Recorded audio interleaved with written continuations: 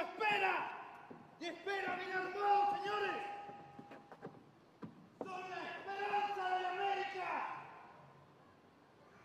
Nuestros hijos y los hijos de nuestros hijos recordarán este momento con orgullo.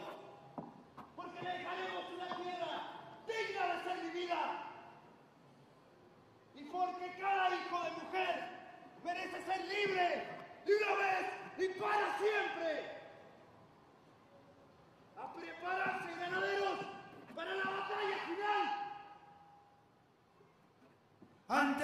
Cristo Redentor se arrodillaba un arriero y rogaba por las almas de los bravos granaderos. Eran 60 paisanos, los 60 granaderos.